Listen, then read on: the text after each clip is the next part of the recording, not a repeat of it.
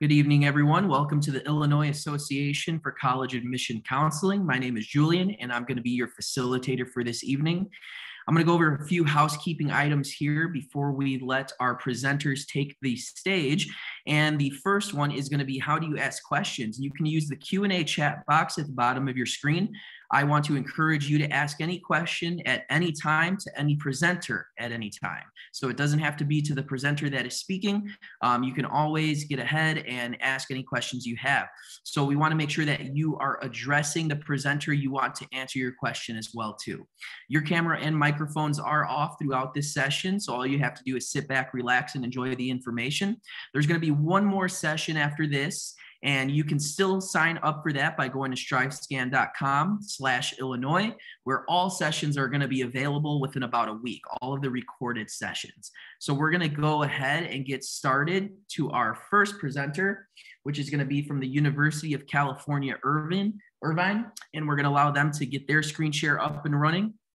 So I just want to encourage you to go ahead and use that Q&A chat box to your advantage tonight and get all the information you need. We'll leave it over to you, University of California, Irvine. Thanks so much, Julian. My name is Andrea. I am with the UCI, and I am a proud representative of not just UCI, but the whole University of California system. There are nine wonderful campuses. You see them on the screen here. We are all great academic institutions. UCI has the distinction of being a top 10 public school, but we also have a wonderful location. So we're located halfway between Los Angeles and San Diego, only 10 minutes from Newport Beach. Um, and so it's just, just this wonderful place, 75 and sunny, pretty much year round. We're really lucky. We're also located near a lot of fun attractions. Uh, we are 20 minutes to Disneyland and only about an hour and a half to some pretty good skiing and boarding as well. Our campus has a cool feature. Um, I think it's something that's really distinctive about us because it's not only the physical layout of our campus, but it also says a little bit about our philosophy of education. So when you look at the campus, you should see a big, huge circle. That bigger circle that you see on your screen there, that's a one mile perfect circle to all of your academic buildings and our two freshman residence hall buildings. Our two freshman halls are Middle Earth Housing, named after Lord of the Rings characters, which is just a fun little fandom nod. And then down at the bottom of your screen, you can see two little blue circle arrows. That's where Mesa Court, our other freshman hall, is. About 85% of our 6,000 freshmen live on campus. Um, we are a residential campus. We have uh, housing for upperclassmen students just beyond what you see on the screen here. The layout of the campus is meant to represent that everything is connected. So even though we're a large school, um, even though we're a research school, we don't have these silos of learning. We really think that our whole world is interconnected with majors, with um, kind of the way things um, work in our world. So you'll find a lot of professors, a lot of students, um, a lot of folks that have maybe teaching in two different schools or a double major or a major and minor in two very different disciplines, uh, things that we're known for. This is a very long list of all of our majors, but the things we're best known for, we're really well regarded in the medical field. So we have 10 different majors in biology. We have a lot of students who do pre-med or pre-health in any of the majors you see listed here, not just in that biological sciences column. We also have a School of Medicine, a School of Public Health, a School of Pharmacy, a School of Nursing, and our own hospital as well. So lots in that area. The other area that we're really well known for is computer science and engineering. We're the only University of California with a full school of computer science. We have seven different majors in this school, so lots to choose from. Um, one of our more popular ones is our game design major, which is pretty great. We also have an awesome esports program, so uh, those a little bit go hand in hand. Uh, we are um, well regarded in these fields because we don't just teach you how to critically think in them, we also teach you how to have your hands on a project. So, your freshman year, you can take a wearable tech course where you build your very own Fitbit they usually end up being about this big on your wrist. So they're not quite the streamlined version you might buy at a store, but it's a great experience for our students who are engineering or computer science majors to get their hands on. Senior year, you'll also do a senior design project. Other things outside of STEM that we're well known for, we have a top 10 dance major in the country, a top five criminology program, 14 different languages, three different psychology majors, uh, lots to choose from in policy and pre-law. Um, so lots and lots to choose from. And then um, some great uh, earth system science and environmental science programs as well. We want you to build your resume while you're in school, and especially as folks that are outside of California, you, you might not understand how um, great uh, an area Irvine is. Irvine is located in Orange County. The city of Irvine is a large city, over 250,000 people. Uh, it also has over one third of all Fortune 500 companies right in our backyard. So students intern at all the companies you see on your screen here and don't have to go very far to get to those opportunities. Uh, on your screen, you can also see the beautiful park that I mentioned right in the middle of campus, um, pretty much in the middle of your screen. Um, and you can see it's a pretty suburban urban area, so lots to do in the area. Over 70% of our students do undergraduate research. This is a great way to build your resume, especially if you're looking at graduate school or medical school. Um, but a lot of our students take advantage of it just as a way to either make money, make friends, or uh, get connected more with their major. We also do some great co-curricular programs, including one of the world's top study abroad programs. We're in at least 30 countries in non-COVID years, and we partner with all the other UC campuses. So you have a lot of leverage and a lot of great networking opportunities when you do that program or our program in Washington, DC, which gives you great access to internships um, in the DC area. Finally, we're the anteaters. We're the only anteaters in the country. It's a really fun mascot. Our students have a lot of school pride for being the anteaters. That is definitely associated with our D1 sports teams, but is also equally associated with our amazing esports teams, uh, with our um, Guinness World Records, like the world's largest dodgeball game, which you see a picture of the start of here. We have over 600 clubs on campus, just lots of great ways to get involved, meet friends, stay active, all of those great things. Finally, the UC application, it's a whole process of its own, but most important, the deadline is November 30th.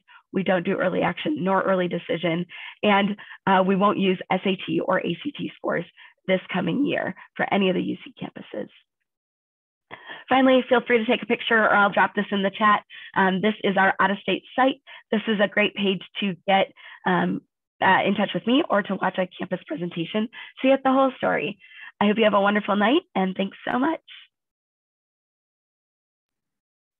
Awesome. Thank you so much. Our next presenter is going to be from Oregon State University and they are getting their screen share up. So go ahead and use that Q&A chat box, but we'll leave the floor over to you at Oregon State University. Thank you, Julian. Um, good evening, everyone, and welcome. Um, thank you so much for being here with me this evening to learn more about Oregon State University. My name is Rachel Paris. I use she, her pronouns, and I am an admissions advisor who works with prospective high school students, just like you, to help you navigate applying to school and learning more about the university. So for those of you who are unfamiliar with OSU, um, we have multiple locations across our state in Oregon. We are out there as a university, so we encourage students to get out and have experiences to connect with their learning in the classroom. We have two campuses. Our main one is in Corvallis. I actually just uh, moved here and I love it so far. Um, I actually moved from Michigan, so Midwest folks. And then um, our second one is in Bend, Oregon as well. And then also we have an e-campus online as well. So for those who are concerned about remote learning, we are um, made an announcement for in the fall that we will be in person. But if you want to do eCampus, feel free to check that out. Um, and that has great resources as well.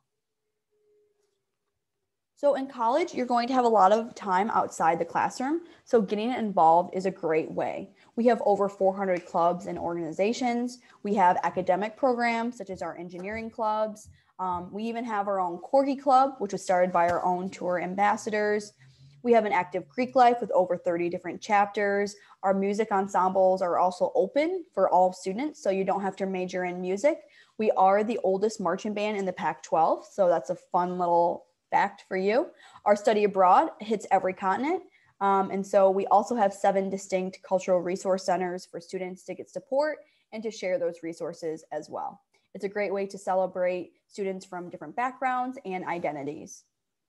Getting involved really helps maximize your student experience and it helps you connect to campus, it helps you get to know other people. I personally met all of my friends and closest friends living in our living center, so in the dorms, but residence halls.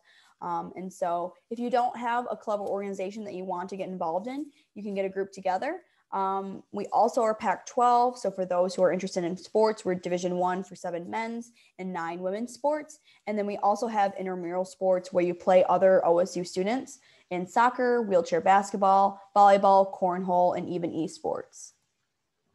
So again, getting out there really starts here. So as important as it is to be in class, we want students to get out and get involved. Um, we have we are OSU is one of two universities in the country that has all four federal grants for land, sea, sun, and space.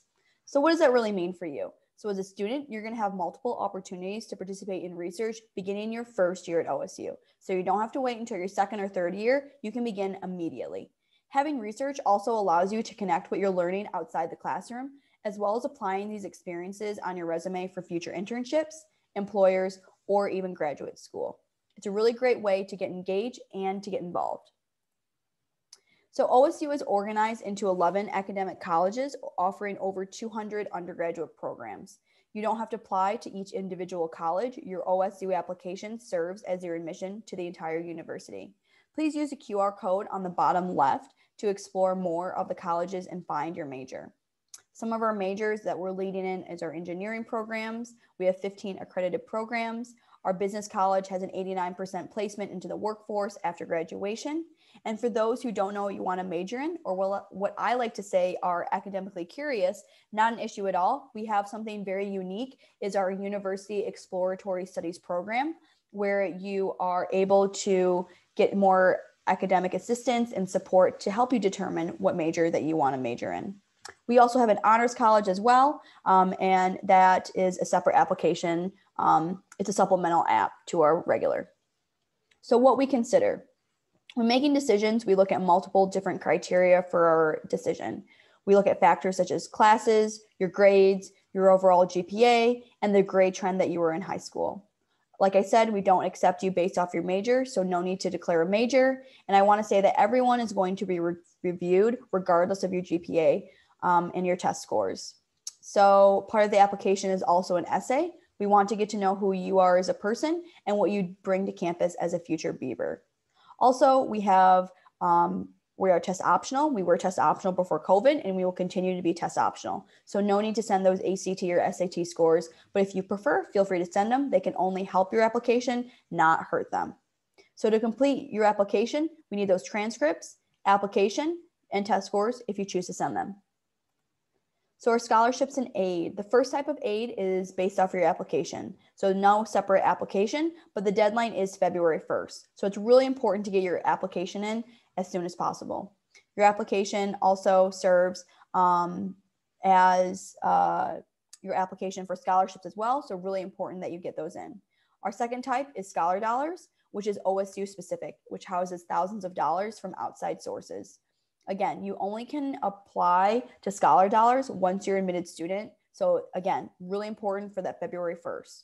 And then the third type is our federal application for the form of the free application for student aid, which you fill out each year. So to stay in touch, um, please follow us on social media at Beaver VIP. Um, also, if you're wanting to learn more or need help with the application process, you can set up a one-on-one meeting with me as your admissions advisor. I do everything on the East Coast. Um, so making sure that you have all the information that you need before you join us as a Beaver. And thank you so much for your time. Great, thank you so much. And we're gonna get moving on to Washington State University. We're going to allow them to get their screen share up and running, but go ahead and use that Q&A chat box to your advantage and sign up for any other sessions tonight at strivescan.com slash Illinois. Thank you, Julian. Hi, everyone. My name is Kim Dela Cruz Kelly with Washington State University. I'm the admissions counselor working with all the students from Illinois and other Midwest states around you. I'm excited to work with you and your families because I'm a WSU alum and I was also an out of state student while I, attended WSU back in 2008. WSU has six campuses across the state of Washington, including our global campus that houses all of our distance learning degrees. So you can earn your, your WSU degree truly from anywhere. Today, I'm going to focus on the Pullman campus. So as you saw on the previous slide, WC Pullman is located on the eastern side of Washington State. Don't let our beautiful rural location scare you. On the eastern side, you'll experience more than just rainy days that um, the western side of Washington is known for. We have four distinct seasons with high temperature summers, low temperature, snowy winters, and everything in between. So one of the, so as one of the remaining college towns in the nation, uh, we attract a lot of big city entertainers at an affordable cost to our students. The eastern side of Washington has um, a lot of outdoor activities within a couple hours of our campus from river sports to hiking trails um, and then snowboarding and skiing in the wintertime. Although we're a large school, we don't sacrifice your educational experience in the classroom. So we have a low student to faculty ratio of 16 to 1. Almost 80% of our courses are 50 or less students. Almost 60% um, of our courses are 30 or less students. Uh, and that's starting your freshman year. So you definitely will have that small classroom experience starting when you first get to campus. If diversity is really important to you, 30% of our student body identifies as multicultural and about 34% of them are first generation generation. So that means a lot. Um, that means that there's going to be a lot of resources available to our students to help them succeed at our campus. At WSU, building community and feeling a part of the Cougar family is really, really important. So WSU facilitates this by requiring students to live on campus during their first year. Um, and for the fall of 2021, we're expecting to be um, back to in-person learning and folks living on campus again um, you know, as they would have prior to COVID. And so looking to the future, we will um, require students to live on campus. Health and safety is our number one priority. So if there are any changes to that, we'll definitely let our students know. Um, so requiring students to live on our campus their first year um, and through that experience we're able to help students find their home away from home whether that's with their floor mates attending pac 12 sporting events with friends and folks that they meet um, a concert joining clubs greek life or getting involved in intramural sports um, or maybe giving back to the community is your thing. And so you get to know other folks through community service events. Lots of different ways to get involved and find that home away from home at WSU. Um, WSU has some really great academic opportunities for our students, including the WSU Honors College. All majors are compatible with this. Um, this is especially uh, cool for students who are interested in continuing to be in like AP or honors type of courses. Um, if you're used to the small classroom size of learning, the Honors College is a really great option for you. Um, and it doesn't cost anything additional. So you pay the same tuition as students who are not a part of the Honors College. We also award credit for any college level coursework that you completed in high school um, or at a different college or university through Running Start or early college. Uh, we have over 200 fields of study for WC students to choose from through eight out of our 11 colleges within the university um, as listed on your screen. So you could check out the different majors there and I'll drop links in the chat after my presentation. Every major has a research opportunity component um, and every major is able to study abroad. Our study abroad opportunities do span across seven continents. So at WSU, we have three types of scholarships available to out-of-state students that are automatic, and we automatically consider you for them based on the GPA on your transcripts when you apply. What you're looking at is the current scholarship amounts and the GPA thresholds for the fall 2021, spring 2022 school year. These amounts and GPA thresholds do slightly vary per year, um, but overall, you know, this is a really good um, outlook for you all to plan if you are a junior or sophomore in the room. Um, Um, so we have two types of awards for our high school seniors and one type of award for our transfer students. If I've um, caught your attention so far with what I've shared, um, this is an important slide for you. So these are the three steps that you would need to complete when you're ready to apply to WSU. You'll apply at apply.wsu.edu. You'll pay or request a fee waiver for our $70 application fee. It's really easy to do that on our payment page. Our application is unique to WSU, so we're not on the Common app. Um, so you'll want to definitely go to apply.wsu.edu. After completing our application, you'll submit your high high school transcripts or your college transcripts. Um, WSU no longer re reviews SAT or ACT test scores for admission purposes. Even if they're sent to us, we will not be reviewing them for admission purposes or for scholarships. We encourage students to definitely apply for financial aid through the FAFSA and submit a WSU General Scholarship application to put you in the running for over 700 um, internal scholarships to WSU. And the dates that we want you to complete all of these items by is January 31st of the year you're applying. And that stays consistent and remains consistent throughout the years. So thank you so much for tuning in and learning more about Washington State University. Please stay connected with me. This is my contact information and I'll also be dropping that in the chat. Awesome. Thank you so much. We're going to move on to Soka University of America, and we are going to allow them to get their screen share up and running. And while they do, just want to continue to encourage you to use that Q&A chat box as we have two presenters left. So we'll leave it over to Soka University of America. Yes, thank you so much for having me. My name is Aaron. I am with the Office of Admission here at Soka University of America. I'll likely just be referring to it as SUA as it is a bit of a mouthful. Uh, the of America distinction is because we do have a sister school in Tokyo, Japan. We are located in Southern California, Orange County, not too far actually from UCI. We're really a mission driven university, not a tuition driven university. And everything that we do on campus, curriculum through student life, is very much based uh, or centered around this um, statement to foster a steady stream of global citizens committed to living a contributive life. We really hope that by the time our students graduate, they can, in some capacity, live out this uh, really great mission statement in their lives, be it through work or just um, whatever they're involved with in life. So what makes a global citizen for us is really having these three components that you see on screen. The wisdom, courage, and compassion are great things that we look for in our applicants, but really uh, are components that we hope to develop in students throughout their four years here at SUA. We are pretty new, opened up back in 2001. There's only 450 or so total undergraduate students on campus, and that's more or less the whole campus that you see there in the photo. 45% of our students are now international. So we're, we're kind of getting closer to a 50 50 split between our international and domestic students. We are a residential campus. About 98% of students live on campus. We're fully accredited. We have five concentrations that I'll go over on the next slide. Study abroad is a requirement of ours, as is having to take a foreign language. So Spanish, French, Japanese, or Chinese are what we offer. Average class size is about 12, and we are part of the NAIA in terms of the athletic teams that we carry. We have merit as well as need-based aid here at SUA.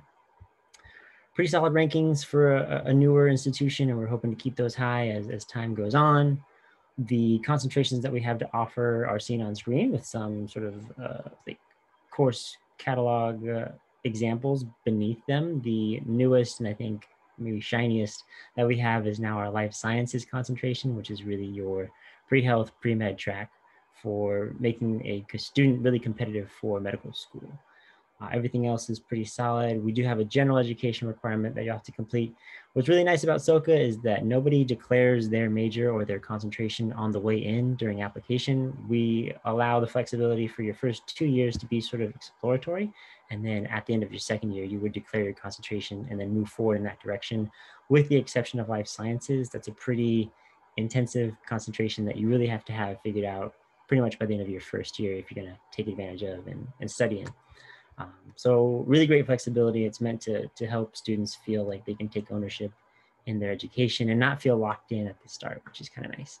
Uh, we, again, require students to study abroad. So we have those four target languages. You'll spend one semester, your third year abroad in a, another country where you yourself will likely be a, an international student uh, and, and fully immersed in a program that is pretty much completely conducted in the target language, which is really great.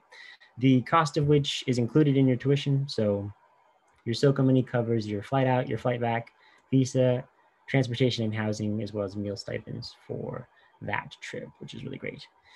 Uh, just a brief overview of res life. So most students live in a double occupancy room their first year. As second through fourth year students can have like a split double suite where you would have your own private room.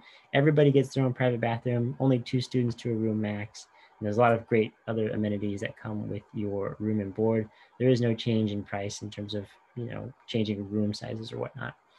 A lot of great stuff to get involved with on campus, clubs, part-time jobs, all that good stuff really similar to other schools that you've you've heard from thus far. Uh, brief overview of our uh, university university sponsored athletics that we have on campus, and if you have questions about those, feel free to send them on in the chat. But uh, we are a private institution, so tuition, room and board is going to be the same for everybody. Thirty-two thousand two hundred fifty for tuition, room and boards, another 13K. We have opportunity-based grants, merit-based scholarships, athletic scholarships, as well as other opportunities to help you fund your education. Uh, the really great thing about us is we don't really nickel and dime students once they're on campus. Once you're here, parking's free, printing is free, your laundry is free, and all students get a MacBook Pro when they're admitted and they keep them when they graduate, which is really solid. Uh, pretty standard application checklist. Just two things to keep in mind since you're pretty early in the game here. November 1st would be our early action deadline and January 15th would be our regular decision. So um, two great dates to keep in mind as you move forward. My name again is Aaron. This is my contact info on the slide. If you have any questions, I'd be more than happy to help you out. Our application opens up in August. So August 1st is when you can get cracking on those apps. So thanks so much. That's my, my presentation. Awesome. Thank you so much. And our final presenter is going to be from Willamette University and we're gonna get their screen share up and running. So just want to encourage anybody who has any questions, go ahead and throw them into the Q&A chat box. And we're gonna leave it over to Willamette University. Thanks, Julian, and good evening, everyone. My name is Claire Lightson. I'm one of the Senior Assistant Directors in the Office of Admission at Willamette University. I appreciate you taking um, some time to join us all this evening. Willamette is located in Salem, Oregon, so we're about an hour south of Portland, which is probably the city you're most familiar with. Um, Willamette was founded in 1842. We are the oldest institution in the Western United States. We were actually a university before the state of Oregon was recognized as a state of the Union. Um, so we've been around uh, quite a while. We are a four-year private liberal arts institution supported by three professional schools. So our College of Law, our Atkinson Graduate School of Management, which is the number one MBA program in the state of Oregon, and then we were recently joined by the Claremont School of Theology. Last but not least, we are one of the 40 colleges that change lives. If you've not heard of that organization, the acronym is CTCL. CTCL.org is the website, and I would encourage you to check out the other 39 ish institutions there, um, wonderful schools to look into for part of your college search process. This is a numbers snapshot for you, what I like to call. We have 1,800 undergraduate students and 600 graduate students, so we are primarily an undergraduate institution. We have an 11 to 1 student to faculty ratio, and our average class size is about 17. And so I usually joke with students if you are hoping to be anonymous when you go to college, Willamette might not be the best place for you, right? Um, we have 52 academic programs, so there's not shortage of things to study there as well. Uh, a couple fun facts for you here. We have 305 acres of land that we own just north of our campus. It's called Zena. It's what I like to call an outdoor academic playground, particularly for our environmental science and our biology students who can take samples and then bring them back to the lab on our campus to study very hands-on experiences there.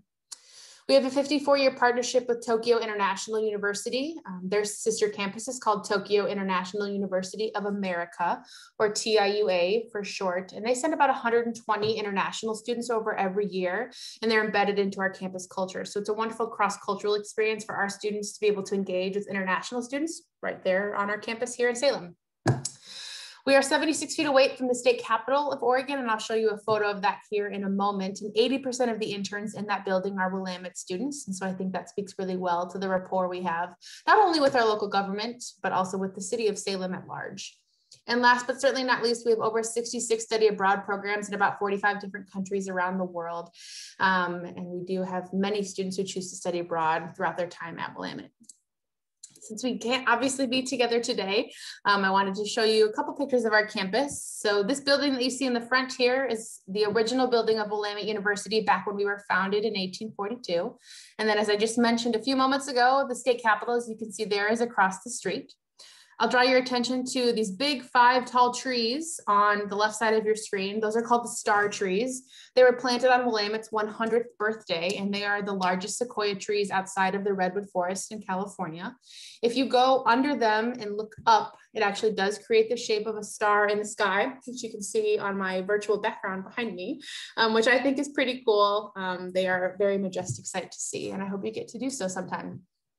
This is my personal favorite spot on campus. This is the mill stream that runs through the heart of our campus that connects to the Willamette River, which is where we get our name. In the background there is our undergraduate library with our beautiful Whipple clock tower. And then the green space you see with the white Adirondack chairs is a wonderful social hub of campus, if you will. It's hard to walk past here without seeing a familiar face or a friendly face go by. This gives you an idea of where we're located within Salem, just to orient yourself. This is our campus, again, the state capitol right here. And this is downtown Salem, very much a college town. We've highlighted some of our students' favorite coffee shops and restaurants here. You can walk to the movie theater, you can walk to the grocery store. And then we're also right across the street from the Amtrak station. So it's really easy to get up to Portland if you wanted to go explore with some friends. Also really easy to get to the airport if you needed to fly back home to Illinois. We're about an hour to the coast, an hour to Portland, and an hour to the mountains. So very centrally located within Oregon as well talk a little bit about our academic experience here. As I mentioned, there are many, many um, undergraduate majors and minors that I encourage you to look at on our website. So I just want to highlight a couple of our academic distinctions here. Um, number one being our hearth system. And the best way I can describe our hearth system um, is an academic family room. First, so for the sake of example, let's take the chemistry hearth. Let's say you had a chemistry class, class earlier that day, and then you go back to the chemistry hearth to study. It's a space where there are comfy couches, chairs, desks, and you're among people who you probably had class with earlier that day who are maybe studying chemistry. And then surrounding that space are the chemistry faculty offices. So you can walk across the hall and ask them questions about class. You can ask them questions about research opportunities, study abroad opportunities, you name it. It's all kind of very interconnected and kind of creates a very natural, organic tutoring space, if you will. The second distinction I want to point out about our academic experience is our experiential learning credit. It is one of your general education requirements at Willamette. And we require students to do one of three things before they graduate, either study abroad, do research, or have an internship. A part of Willamette's mission statement says that we're turning knowledge into action. So we believe it's obviously important what you're learning in the classroom, but we want you to take it one step further and apply it very directly outside of that classroom experience. It helps you build your resume so you're ready to jump into either um, graduate school or your career, depending on what might be next for you after you finish with us at Willamette. I mentioned earlier we have graduate schools, so which means we have dual degree programs. So we have a three plus three law program, a three plus two business program, and then a three plus one data science program. So all of those include your undergraduate degree as well as your graduate degree or professional degree in a year less combined than if you were doing them separately. So it saves a year of being in school, saves a year of paying tuition, and gives students that upward mobility to get their career started. We also have a 3-2 forestry and a 3-2 engineering program. The two years, the second two years at both of those programs are at affiliate institutions. And if anyone has specific questions about those, I'd be happy to answer those um, where you might be able to go to afterwards talk a little bit about life outside of the classroom here. Um, I'm are for sorry, reading the chat here just to make sure. Oh, love the star. How cool. That's wonderful. Thanks, Andrea. Um, we have two or three things outside of the classroom experience um, that our students are involved in on average. We have over 100 clubs and student organizations, so there's certainly no shortage of opportunity of things to get involved in there. One of our most popular programs is our campus recreation and outdoor program. Um, we have a multicultural and affinity group programs as well for students who are looking to be um, in community with those who identify the way that they do. And we also have a very robust student government on our campus. We have 19 NCAA Division III varsity sports, and we will be 20 this coming fall. We are um, adding a women's triathlon team, which we are very excited about, kind of a niche sport there. About 25% of our undergraduate students do participate in varsity athletics. And then we have club sports, which are not as competitive or as time consuming, but you do still have to try out for. And then we have a plethora of intramural sports that our students love. You don't ever have to have picked up a basketball or kicked a soccer ball to be able to be a part of one of those teams. We also have 20 music ensembles and performing arts clubs that ranges from vocal and instrumental music to theater to dance, um, as well as orchestras and bands. Those are the two I'm forgetting there. You don't have to be studying music or theater to be a part of any of those ensembles um, if you're not studying them academically speaking. About 15% of our undergraduate students participate in fraternity and sorority life. So I look at that the best of both worlds, right? If you're interested in being a part of those philanthropic communities, the opportunity presents itself to you. And if not, it's not an overwhelming presence on our campus either. I'll talk a little bit about applying to and paying for college, which I know is always on people's brains. Um, we are a common application exclusive school. We have an early decision, early action deadline in November and a regular decision deadline in January. Three things to know about our application. Um, there's no application fee, no supplemental materials, and we also are a test optional institution and we have been test optional for the last five years. Merit scholarships are considered with your common application to Willamette, and those are renewable for the four years that you're at Willamette. We also have a handful of competitive scholarships that you can see on the screen here for students to be able to apply to. Again, you don't have to be studying music or theater to be a recipient of those competitive scholarships. Beauty of the liberal arts, right? And last but certainly not least, we offer need-based financial aid um, via the FAFSA, and we do have paper FAFSAs available for students who might need them. I will leave you with this. Um, I am your admission counselor um, at Willamette. I'm originally from Illinois, so I always love to work with students from that area. Um, my contact information is there. And we also have wonderful virtual visit opportunities for you to continue to get to know Willamette and the beautiful Pacific Northwest at that website right there. Um, but thank you for taking a piece of your evening here with us, and I'm going to pass it back to Julian.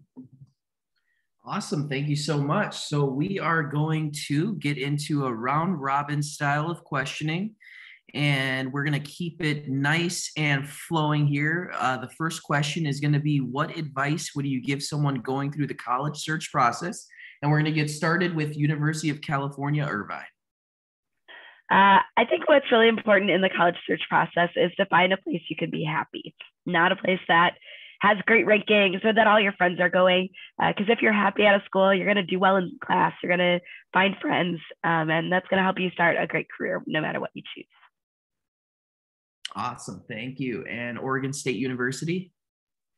I think my advice would also, you know, make sure you do your research. I'm a big researcher, um, especially at OSU. You know, ask those hard questions. Ask, you know, what am I going to get? You know, what is you know my housing you know what is the student faculty ratio? Like don't be afraid to ask those questions. And if they aren't answering you know that's on them. But ask those hard questions. Don't be afraid. We want to you know we want to learn too. Awesome. Washington state university um, on the note of researching, I think my advice would be to uh, never assume you know everything about a college or know everything about what rural schools are, urban schools are. Kind of keep your options open. Attend as many high school visits um, to your to your high school as you can, um, or attend as many of these six by sixes as you can, so that you really know you know what's out there and what your options are. And maybe you'll learn about a unique opportunity that you didn't know about before that convinces you to attend that school. Great, thank you. Soka University? Yeah, also these are all really, really great points. I think for me, biggest thing is to to stay organized during your application process. You know, can't finish the race without getting to the starting line. So just making sure that you have everything that you need checklist wise in and kind of on top of the mind so that you don't miss a deadline and just kind of end up, you know, regretting certain things that uh, that kind of gets go by or, or slip your mind. So stay organized, continue to attend these events, uh, learn as much as you can. And um, yeah, hopefully we can, we can see you all in some pretty great places in the future. Perfect. And Willamette? Yeah, absolutely. Um, I think the statistic is that upwards of 80% of students will change their major at least once before they graduate. My advice to you is do not pick a college solely on the major that you think you want to study. Consider lots of different options in terms of cultural fit, in terms of community, other opportunities, other majors that might be able to offer you there, um, because there is a large chance that you might change your mind once you get there and see the wonderful opportunities that present themselves to you. Awesome. Thank you all so much for that. Uh, the next question is going to be What is your favorite event or tradition on campus? And we're going to start right back up at the top. I'm I'm lucky to be at a campus that's pretty quirky, um, uh, with the anteater mascot there and the Middle Earth housing and Lord of the Rings lore. Um, but probably my favorite is that we do this Um, and I apologize to my presenters, co-presenters, they've seen this before, but this is a, a little anteater. And at sporting events and esports events and graduation, we go, zot, zot, zot. We cheer this all the time. Um, and it's almost like even a secret handshake. So I'll be at a college fair um, in Illinois or on the East Coast, and someone will come up that's familiar with UCI and they'll go, zot. So it's just kind of a fun, quirky thing we do. Awesome. And Oregon State? So one of our really big events um, on campus is our annual uh, salmon bake, and so it's at our Native American Longhouse, and so everyone gets um, very excited. They do a traditional salmon bake, and everyone kind of lines up um, on by the Longhouse and kind of tries it. It's delicious. I've never had salmon like that in my entire life, and so I was very sad that COVID uh, kind of delayed us last year, but hopefully this fall we'll have it again. So if you're in the area, check us out. Awesome. Washington State. Um, I think my favorite events that happen on campus are our family weekends. So, if you know anything about Washington State, Pullman is kind of a destination. You don't just find yourself, you know, driving through Pullman. It's kind of like you need to be purposefully going there. And family weekend truly brings out alums, it brings out family members and friends of our Coug. So, a lot of folks who would have never found themselves in Pullman get to see it and experience what it's like to be um, in Pullman. And it's a really great time for you to just celebrate. Um, in the fall, it's usually associated with a football weekend. And in the spring, it's usually um, right after our spring break. So it kind of gives students a boost and gets them ready and prepared for graduation season. Awesome. Thank you. Soka University.